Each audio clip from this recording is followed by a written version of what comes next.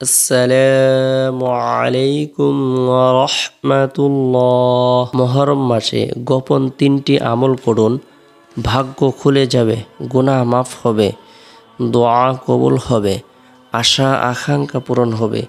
হিজরি সনের প্রথম মাস হচ্ছে মহরম মাস। মহরম শব্দের অর্থ নিষিদ্ধ, সম্মানিত মর্যাদা সম্পন্ন মহরম মাসের গুরুত্ব, তাৎপর্য অনেক বেশি। নবী করিম সাল্লাহ আলী সাল্লামকে আল্লাপাক রব্বুল আলামিন হিজরতের মাধ্যমে বিশেষ মর্যাদা প্রদান করেছেন। আল্লাপাক রব্বুল আলামিন তার নিয়ামতকে বৃদ্ধি করে দিয়েছেন।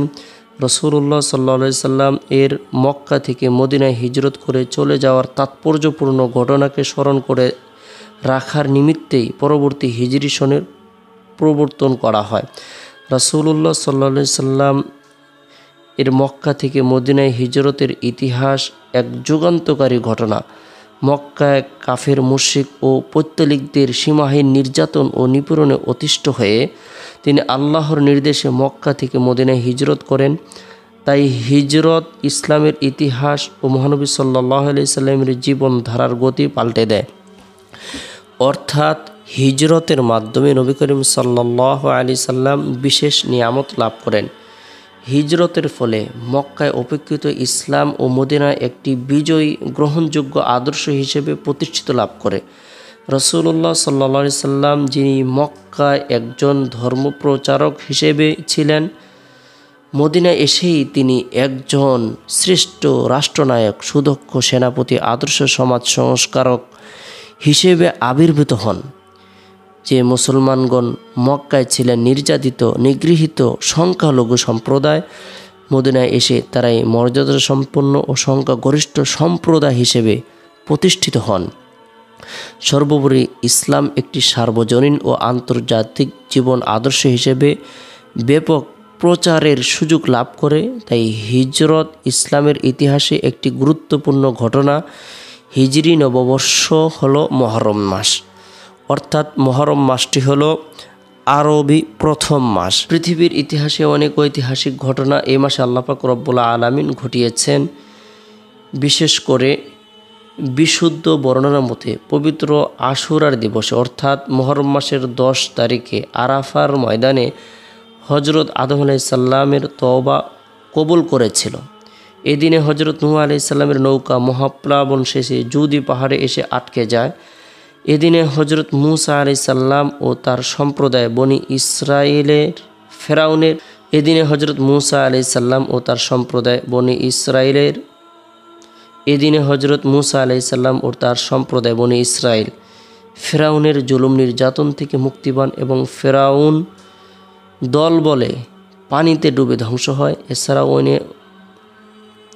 এছাড়া অনেক ঐতিহাসিক ঘটনা এই দিনে সংঘটিত হয়েছে। ইমান ও কুফুরের লড়াই হয়েছে। আল্লাপাক রব্বুল আলামিন ইমানদারদেরকে হকের পথে যারা ছিল, তাদেরকে বিজয়ী দান করেছেন। তাই এই মাসটি গুরুত্বপূর্ণ এবং ফজিলতপূর্ণ একটি মাস।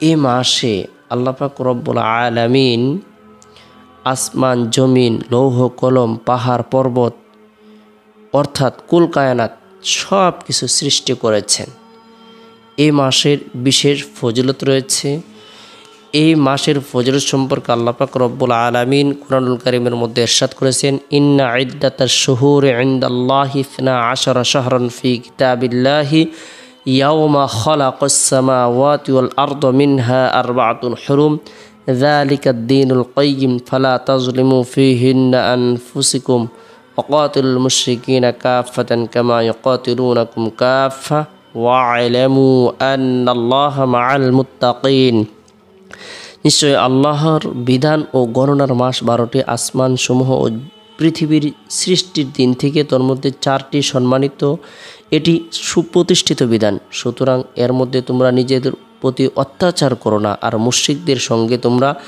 যুদ্ধ করো সমবেতভাবে, যেমন তারাও তোমাদের সঙ্গে যুদ্ধ করে যাচ্ছে সমবেতভাবে। আর মনে রেখো, আল্লাহ মুত্তাকিদের সাথে রয়েছেন সুরাত আয়ত্তং ছত্রিশ। আমার কাছে মাসের সংখ্যা বারোটি, এতে কম বেশি করার ক্ষমতার কারণেই এটা রোজ আজাল, অর্থাৎ সৃষ্টির প্রথম দিন থেকে লৌহে মাহফুজ লিখিত রয়েছে। এই বারো মাসের মধ্যে চারটি মাস বিশেষ মর্যাদাপূর্ণ এবং ফজিলতপুর যে ব্যক্তি গুরুত্ব সহকারে এই মাসে নফল এবাদত বন্দিগি করবে, নফল রোজা রাখবে আল্লাপাক রব্বুল আলামিন তাকে ক্ষমা করে দিবেন, তার পদমর্যাদাকে বৃদ্ধি করে দিবেন মহরম মাসের গুরুত্বপূর্ণ আমরা তিনটি গোপন আমল করব।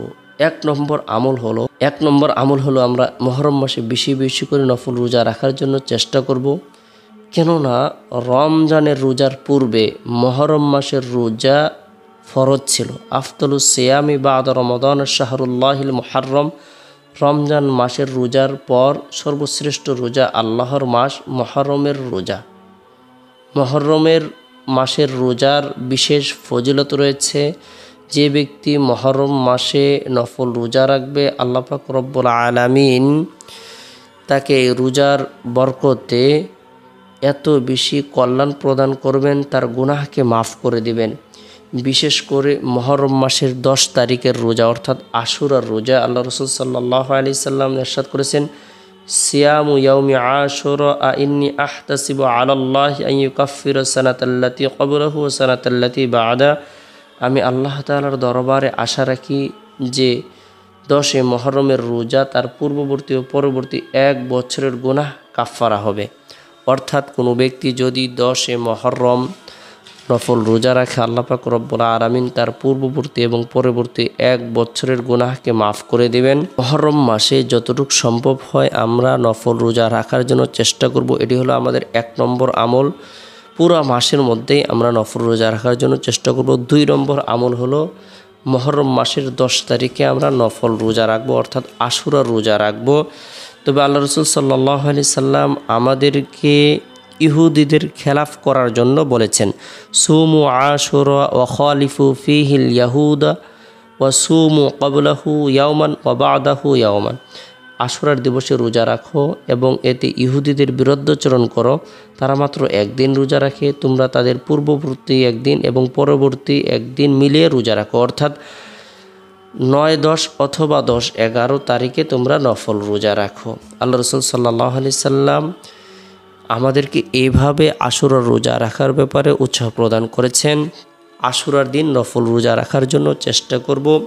এরপরে মহরম মাসের গোপন তিন নম্বর যে আমলটি আমরা করব সেটি হলো আমাদের অন্যায় অপরাধের কথা স্মরণ করে, গুনাহের কথা স্মরণ করে, নাফরমানের কথা স্মরণ করে খাটি দিলে অধিক পরিমাণে ইস্তিগফার পাঠ করব। আস্তাগফিরুল্লাহ রব্বি মিন কুল্লি দাম্বি ওয়া তুবি ইলাই আস্তাগফিরুল্লাহ রব্বি মিন কুল্লি দাম্বি ওয়া তুবি ইলাই যে ব্যক্তি তবার নিয়তে খাটে দিলে ইস্তিগফার পাঠ করো, যদিও তার গুণা সমুদ্রের ফেনা পরিমাণ হয় না কেন, বৃক্ষের পাতা পরিমাণ হয় না কেন, মরুভূমির বালুকারাশি পরিমাণ হয় না কেন আল্লাপাক রব্বুল আলমিন অনুগ্রহ করে তার গুনাহকে মাফ করে দেন।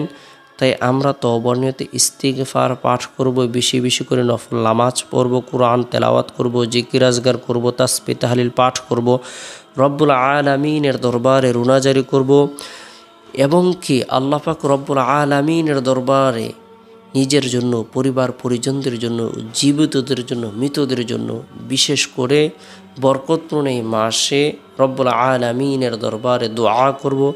আল্লাপাক রব্বুল আলমিন বরকতপূর্ণ মার শের উছিলায় আমাদের দোয়াকে কবুল করবেন। আমাদের আশা, আকাঙ্ক্ষাকে আল্লাহ তালা পূরণ করে দিবেন, গায়েবী সাহায্য প্রদান করবেন চার দিক থেকে আল্লাপাক রব্বুল আলমিন বরকত প্রদান করবেন।